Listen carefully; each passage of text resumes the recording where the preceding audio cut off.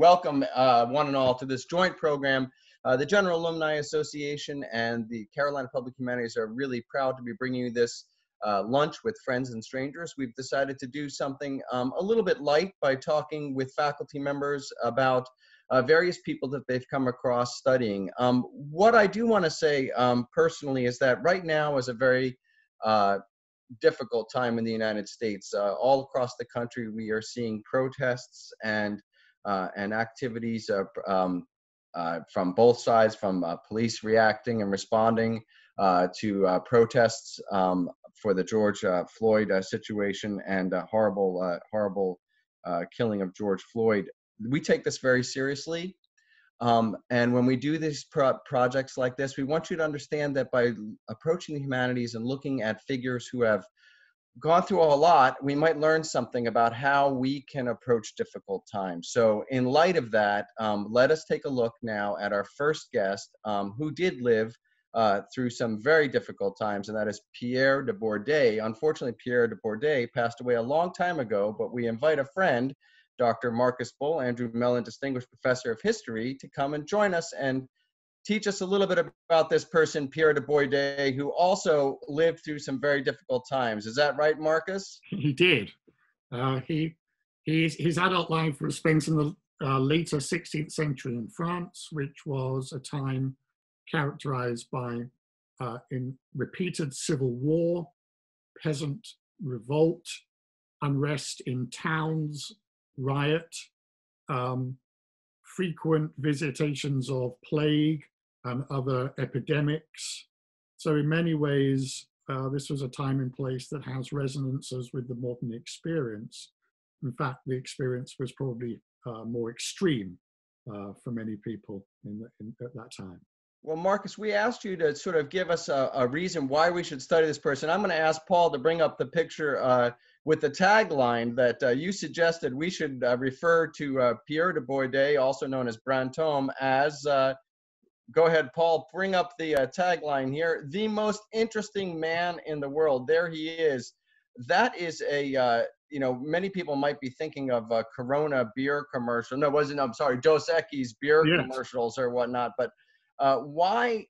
That's a strong claim, Marcus. Uh, briefly, what is it makes uh, Bourdeille the most interesting man in the world? We'll get into some anecdotes later, but go ahead. Well, funny you should mention the beer ad because that was the immediate source of the inspiration for it. And the point was that the most interesting man in the world, according to the Dos Equis adverts, was that he was a man of many parts. So I mean this uh, tag, at least semi-ironically, but the point about Brantôme is that he, he lived a very interesting life by virtue of spending it on the margins of the world of a lot of, of very, very important and powerful people. He was himself born into an aristocratic family. He was rich and powerful enough to be granted entry into the world of the very rich and very powerful, the real movers and shakers, though he was never himself one of them. And he wrote a very long series of books, which was posthumously called Memoirs, slightly misleadingly, in which he chronicles his time and in the process talks about many of the people that he knew and met. And he's a great uh, name dropper.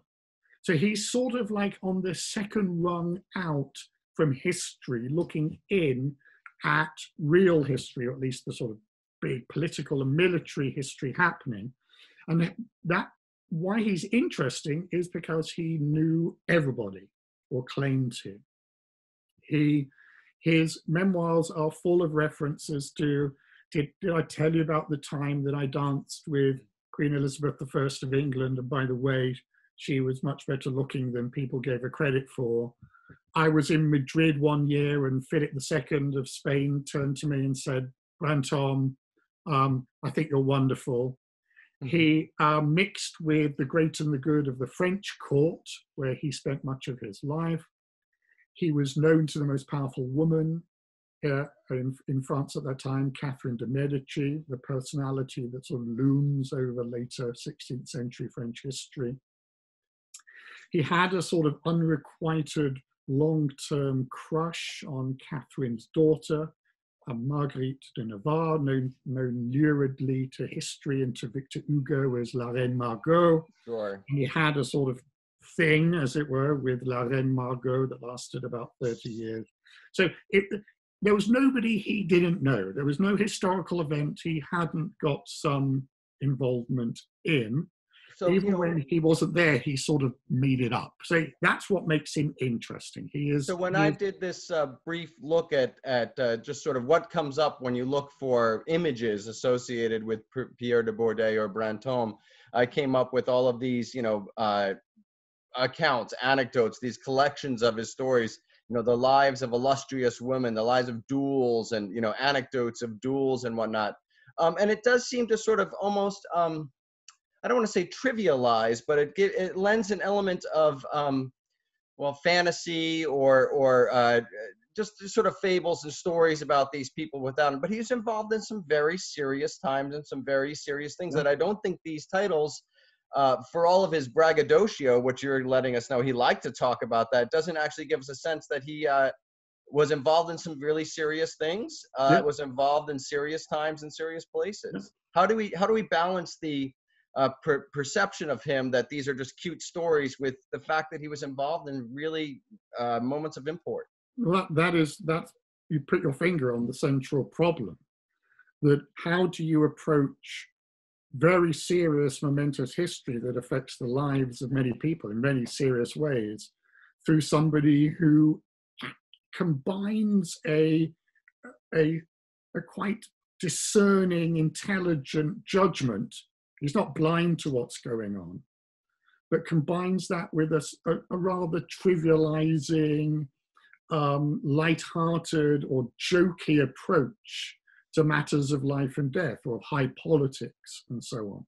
So I suppose the challenge for a historian is how much do you learn from jokers, or at least from people who are um, relatively blind sometimes to what's going on around them, even as they are perceptive in other ways. So that's why I'm drawn to Brantome. Wow. He wasn't a great intellect, but he was he was often in the right place at the right time or knew and, some, and we'll learn sometimes not at the, exactly the right place and he might oh, yeah, we'll learn about some of those in a few minutes i love those stories um, let's let's advance the slide here and take a look at uh, let's maybe go to some origins here um, I believe uh, if our next slide is this is uh, the family home. What I'd like to ask, I asked you before we get into the family, I suggested to you, is there someone you could compare uh, Pierre de Bourdeille to that might people who don't know Bourdeille or this era might know and might be able to sort of make a comparison?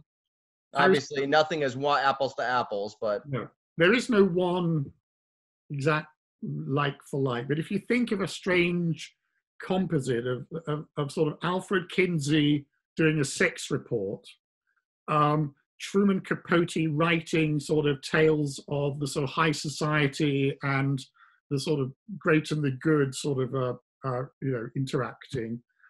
So Robert Capa being a war photographer and sort of doing war report and, and sort of describing and capturing violence, and then about 10% Walter Mitty wanting to be somebody he isn't. You know, if, if you threw those things together, you've got you've got Pierre. I think that would be about where I I come to him. That from. was not at all where I was expecting. That was a great. I love the Walter Mitty sounds an incredibly important part. That's the ten percent. You're not sure if he's making it up or not. I I take it. Yeah, I think ten percent's generous. Up, uh, you know, conservative. There might be more. So the person that I had thought, you know, again, not being very familiar with Brantome, but knowing the idea of these observers to court and observers to people in high places, it made me think of the memoirs of Saint Simon, but those seem a lot more documentary perhaps than uh, than Brantome's. Could you make a comparison between those types of approaches to writing about court life?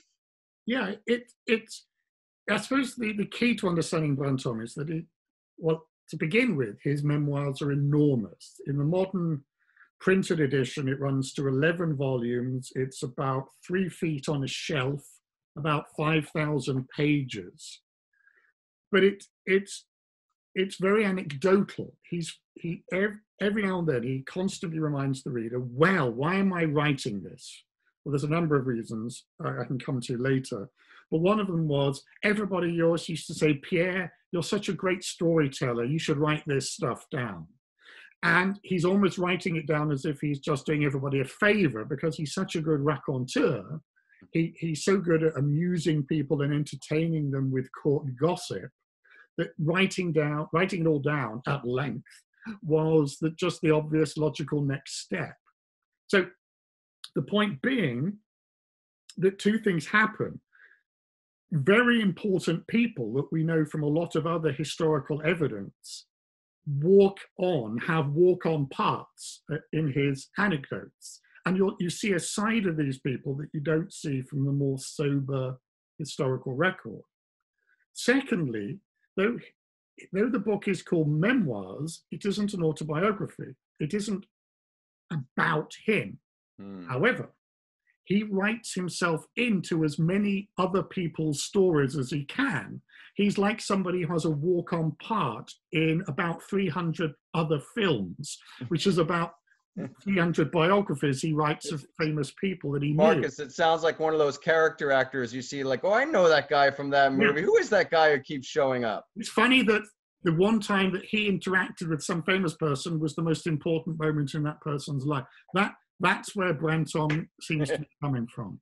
well, let's let's get a little bit of situating Brantome. This is uh, tell us about this. This is his family home, is that right? And yeah, and give us the give us a date of birth and situate us in what was going on in the world when he was born. Yeah, he was born about 1540. He died in 1614, so he lived to his mid 70s, which was good going at that time.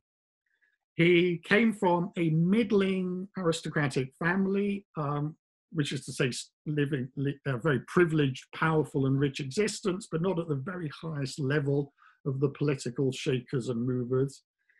Bourdeille, this is the family chateau, is in a region of France called uh, Perigord, which is um, in the southwest, still very rural, very beautiful. Mm. He wasn't the eldest son of the family, therefore had no prospect of inheriting um, this. Uh, the chateau and the, the chateau of, you see before you. The um, knightly noblesse oblige that comes along with it. No. Yeah, but but the, for our purposes, two things are important. He was sent off to be educated in his teens, not to a particularly high standard, but certainly to make him literate and familiar with a wide range of books. Secondly, uh, his family sent him to the royal court to make a career in his teens, and there, off and on, he spent the next 20 or 30 years of his life. So that's, that placed him in this environment of anecdote and proximity to power and the hurly-burly of hundreds of people attending the person of the royal family. So he was sort of thrown into the center of French national life, even as a fringe player. And that gave him the ammunition uh, to collect and relay these anecdotes and to try and insert himself into the story as much as his relatively humble position allowed him.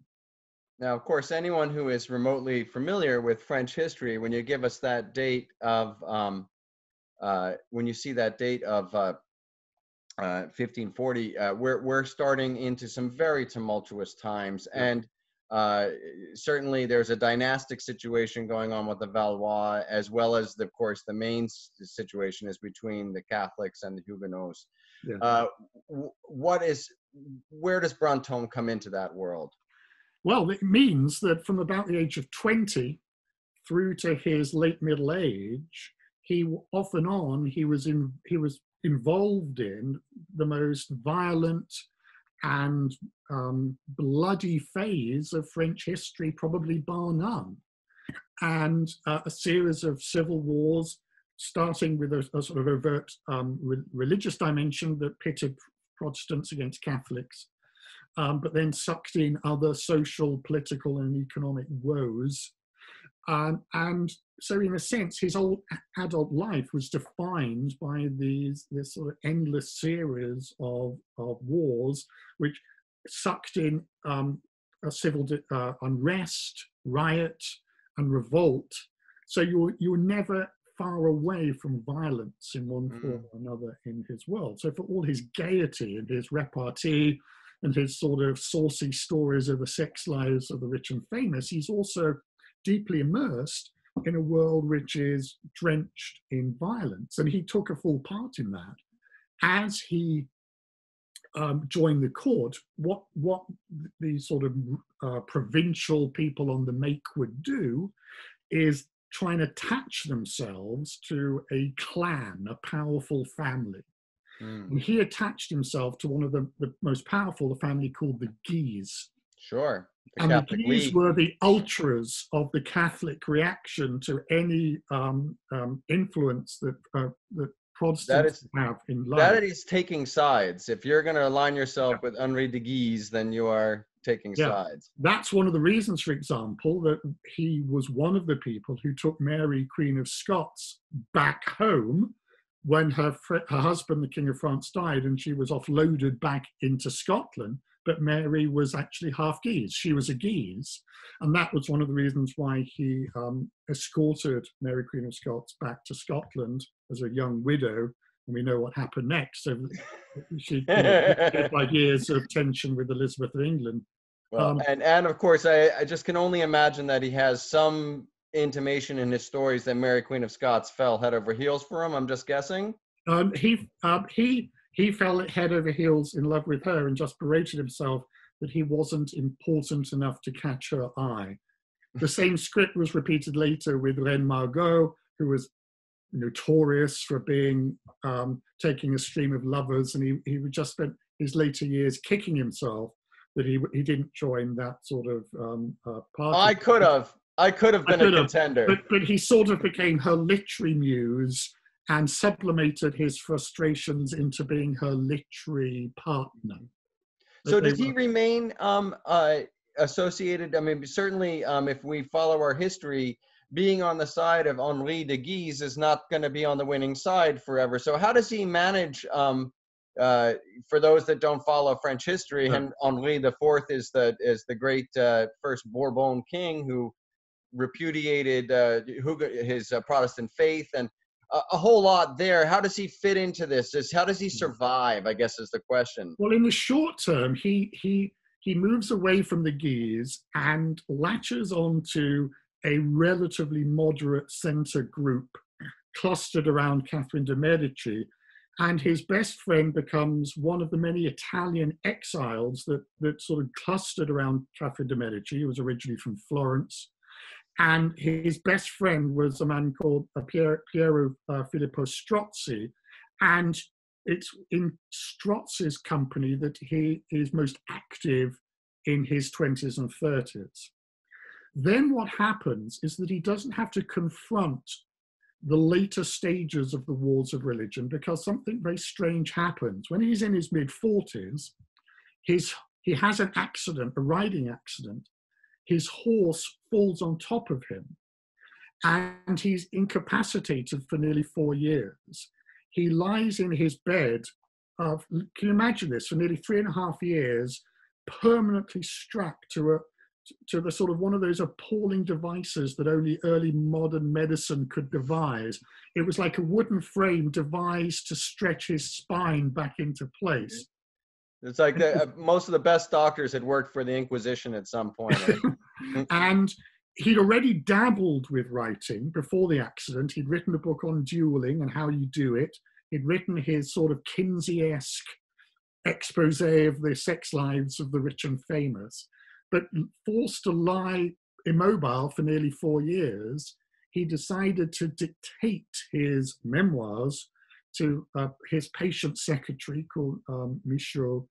And that was the genesis of this much longer writing project. It was forced on him by this excruciating extended period of incapacity. So, in that period of time, he was able to avoid some of the more uh, uh, cataclysmic events of the of the era. Yeah, and he never and he never um, rejoined the rat race after that. He never went back to court. He was a sort of yesterday's man. Most of his people he knew were dead, courtesy of the dueling or the or the wars, or and so he was he was in a sense made the transition to embittered um, sort of commentator in older age, recalling his youth and increasingly casting the, the days of his youth as a sort of lost age uh, uh, you know, this, the nostalgia is pouring out.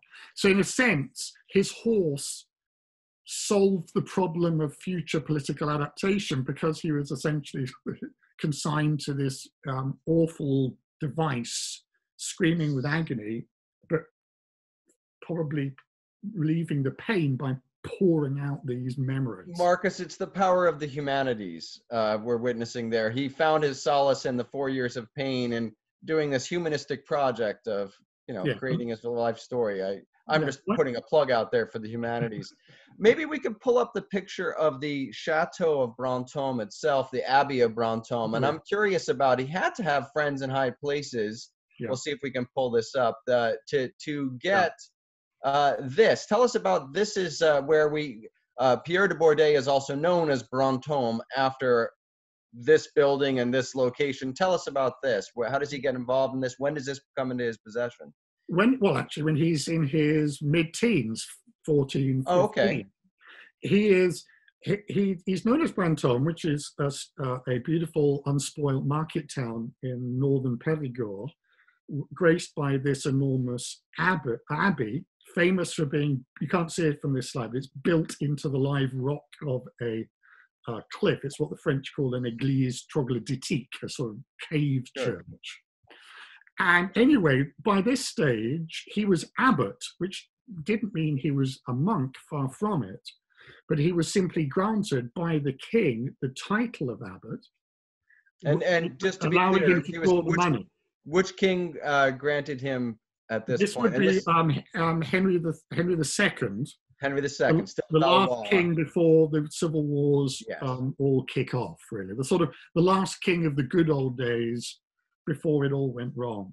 So even if you're the third son, by the time you're in your teens, you might still. Uh, he didn't have it so bad. No, no. This is this is very cushy. He he he doesn't have to live with the monks, though he kept a suite of apartments there. At one point, a Huguenot army uh, descended on northern Perigord and he sort of uh, removed himself post haste to his abbey and wined and dined the Huguenot generals, including, strangely, um, uh, William of Orange, the, um, the, who was sure. famous in the Dutch revolt.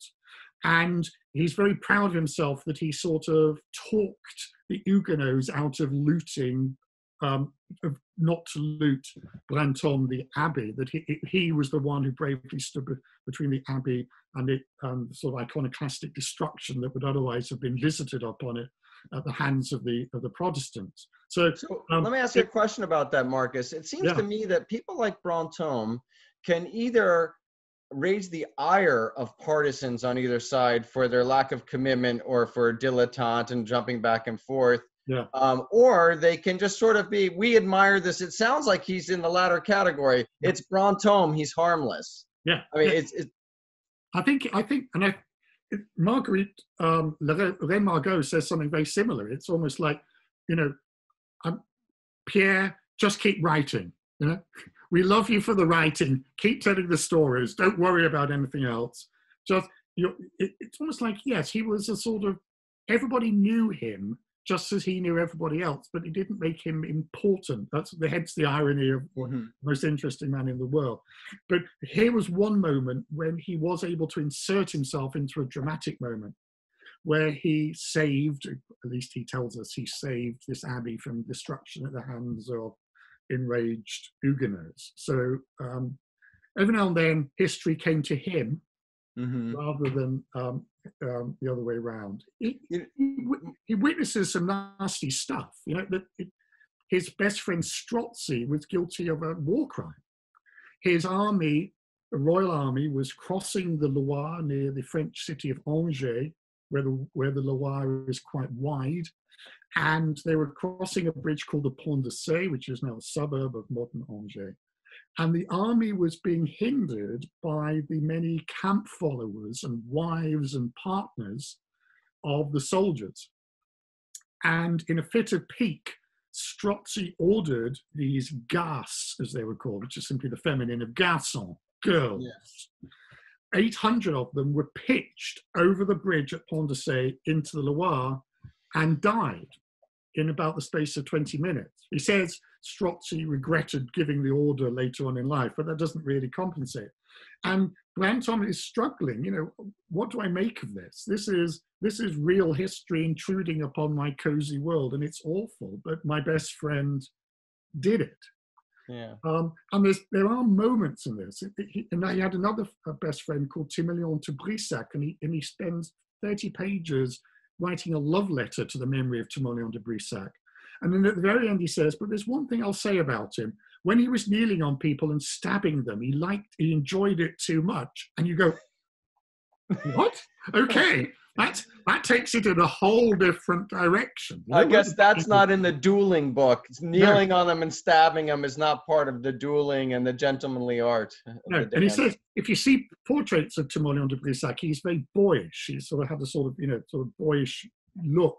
And and Brantome says funny look, funny really, that he was so good looking but still loved blood splattering on his face. And you go, oh, that's a thing, Pierre. So it, you, you're every now and then you start to get sort of blasé about the world, full of you know anecdotes and sort of sexual escapades and sort of you know tittle tattle, and then every now and then, boom, this this extraordinarily violent, ugly world smacks him and you, the reader, right in the face. Yeah. And there are, there are several moments of that where even Brantome's love of nostalgia and sort of chivalry and trying to sanitize everything is insufficient to disguise the fact that he is he and his contemporaries have been pitched into an unusually dysfunctional violent and ugly world yeah certainly and you know I, I know you mentioned that even if he was um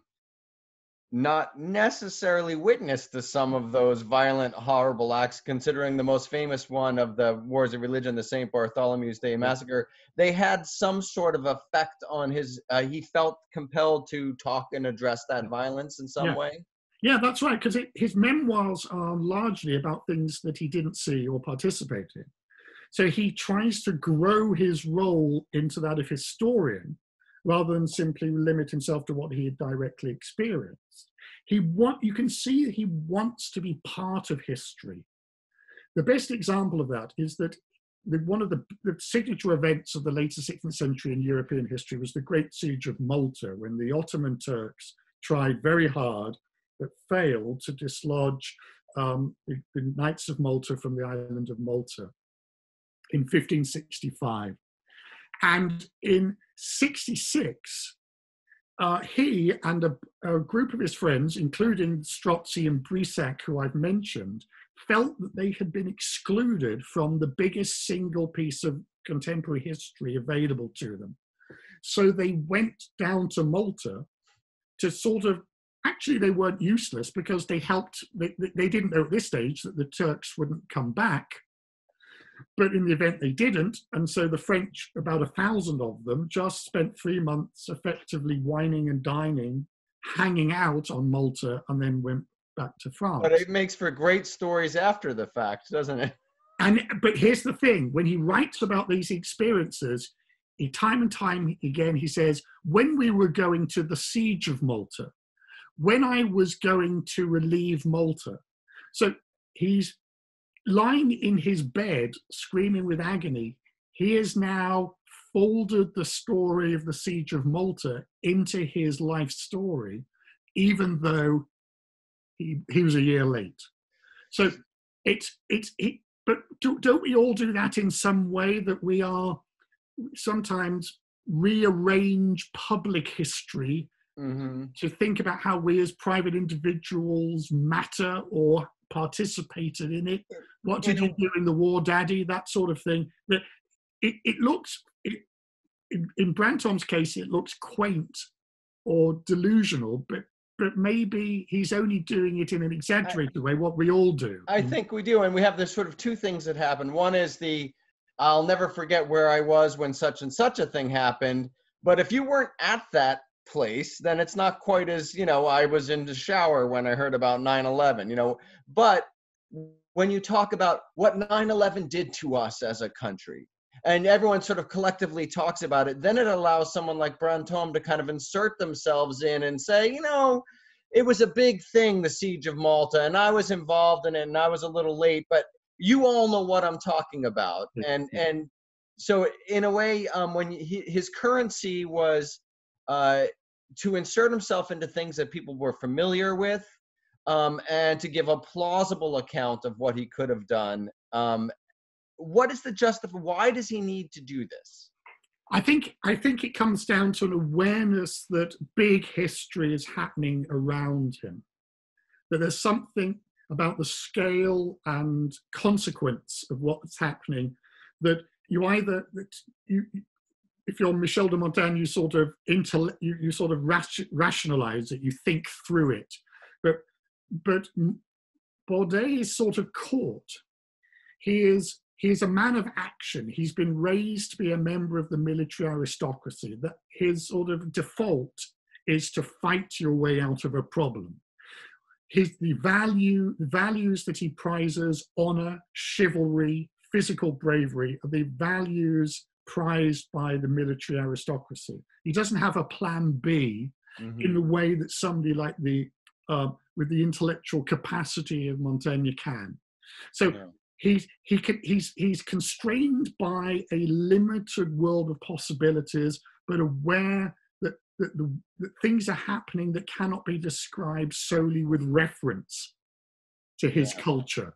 So how do you try and fit very big history into a quite narrow view of the world? And that's that's what I think the memoirs are trying to do. They're trying to square the circle of coping with the enormity of change and the convulsions around him yeah. while remaining true to a set of values that provide order and stability and a sense of control and, and sense of participation, a sense of wanting to be part. Another one example of another big history that he wanted to be part of, however tangentially, was a, what's another big story of the later 16th century? It's the Spanish Armada, the, the failed attempt to, to invade England nothing to do in the in the first case uh, instance with Brantome, but he tells us that some of the Spanish survivors who'd been shipwrecked on the French coast mm-hmm.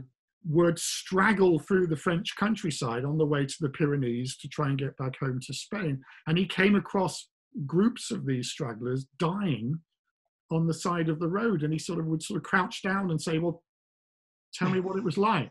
so he even in the most sort of yeah. remote ways, he's groping to be part of something bigger than himself because he feels.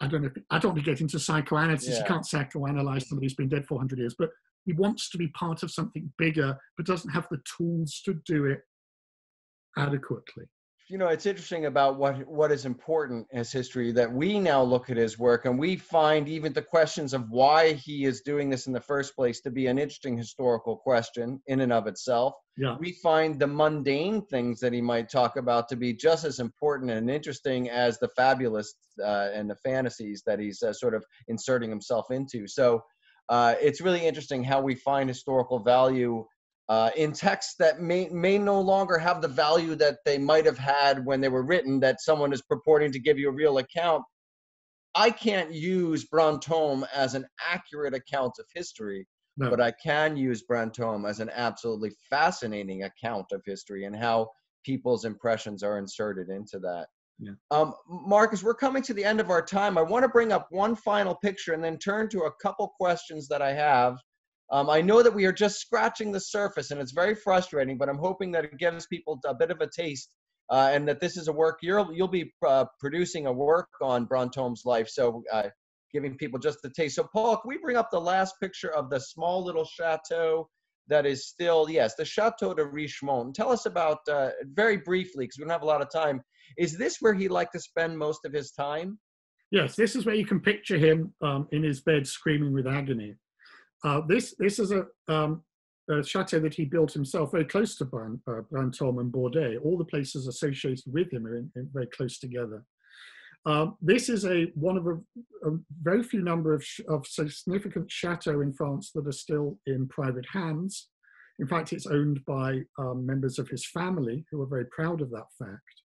And it, it, it the, the, that family has had very little money, so it's it's virtually unchanged since uh, the It's- time when. I prefer it that way. It looks great. I mean, I think he's, a he's lot of buried times. there. He's buried there, um, and in his chapel, and it, it's very ramshackle. It's scarcely been updated si- since the middle of the 17th century. When you are when you're invited round by Madame la Châtelaine, you are you have to shuffle on two pieces of carpet so as not to damage the 17th century floorboard. it, it it gives you a sort of point of entry into his world like no other.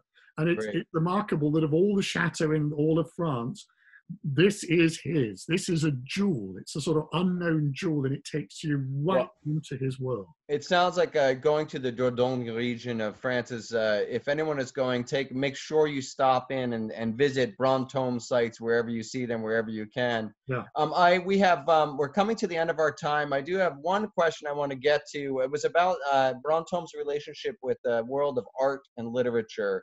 Uh, Yeah. you had already mentioned Montaigne. Um, did he know Montaigne? And just about the art world in general as well. Yeah, Um, he, he, he knew of Montaigne, who was also from the Périgord. Was rather sniffy about him, thought he was too clever for his own good. Um, but Brantôme actually has a very interesting literary uh, pedigree that people can pursue, which is another Marguerite de Navarre, an older one who was Queen of Navarre. His, his Brantôme's mother, aunt, and grandmother were part of her inner circle. And this Marguerite de Navarre is, most famous for having written one of the most important works of literature in French, the Heptameron. It's, it's inspired by Boccaccio's Decameron. The basic Sorry. plot is the same. A group of people trapped in the Pyrenees by floods tell each other stories to uh, while away the time. And Brantôme's uh, mother, father, and grandmother, and possibly aunt, are the historical basis of the characters that inhabit the frame narrative of the Heptameron. And therefore, and Brantôme was, we know from his many observations, he was immensely proud that his family had this sort of very close up and personal. Wouldn't that have a, an influence on his own literary endeavors themselves? I think it, you know, only a handful of um, aristocrats of his type would have sort of bothered to write memoirs, at least anything like the length. And I, I suspect that it cannot be proven that his his family's involvement in a literary classic was his license to in, to presume to explore the world of authorship. That that was his. He was in some weird way continuing it. That their tradition of proximity to to the world of letters. So Well, it, I- it's a hunch.